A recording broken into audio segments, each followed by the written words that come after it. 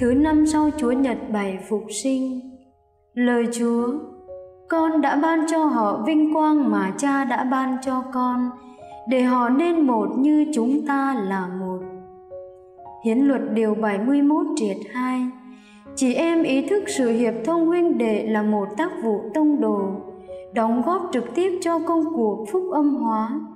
Do đó, chị em vun trồng đời sống yêu thương, hiệp nhất, liên kết và tương trợ lẫn nhau để mọi người có thể nhận ra chị em là môn đệ của Đức Kitô và tạo nên sức mạnh khi thực thi sứ mạng. Suy niệm trong lời cầu nguyện của Chúa Giêsu, chúng ta đọc được mong muốn của Ngài là muốn chúng ta được nên một trong tình yêu. Bởi vì chúng ta là hình ảnh của Thiên Chúa, chúng ta mang trên mình vẻ đẹp của Thiên Chúa ba ngôi. Vẻ đẹp của tình yêu được lan tỏa từ sự hiệp nhất của ba ngôi Thiên Chúa, thông chia cho chính mỗi người chúng ta. Sự hiệp nhất là điều rất cần thiết trong đời sống giáo hội hội dòng và mỗi cộng đoàn. Chính sự hiệp nhất đem lại cho chúng ta sức mạnh để có thể chiến đấu chống lại ba thù thế gian ma quỷ và xác thịt hai yếu tố cần thiết của sự hiệp nhất đó là tình yêu và sự cộng tác. Nếu chúng ta yêu chúa, yêu anh em mình, thì chúng ta sẽ luôn thi hành ý chúa, giúp đỡ anh chị em mà không tính toán, so đo. Nếu mỗi người để cho ý chúa thể hiện, hướng dẫn, thì cộng đoàn sẽ hiệp nhất.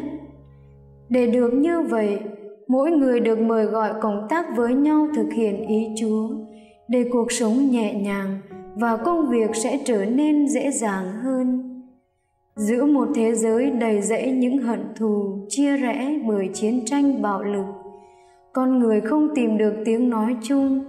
Chúng ta được mời gọi kiến tạo sự hiệp nhất ngay trong chính môi trường, hoàn cảnh mình đang sống.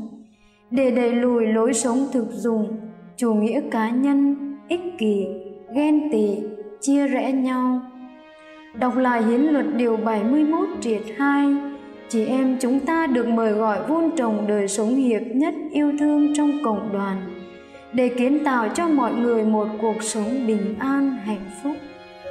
Chị em liên kết với nhau trong đời sống sứ vụ để đời sống mỗi người con đức mẹ vô nhiễm là những chuyên viên hiệp thông trong đời sống giáo hội. Lạy chúa xin cho chúng con luôn ý thức mình là hình ảnh của thiên chúa được dựng nên trong tình yêu. Vì thế chúng con phải trở nên nhân tố tích cực kết nối sự hiệp nhất trong môi trường mà chúng con được sai đến phục vụ.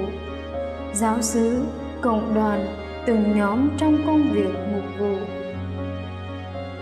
Con đức mẹ vô nhiễm vui sống hôm nay chúng ta cùng quyết tâm yêu mến chúa bằng những hành động cụ thể, nói lời tích cực, xây dựng, không cảm ràm về những sai sót của chị em.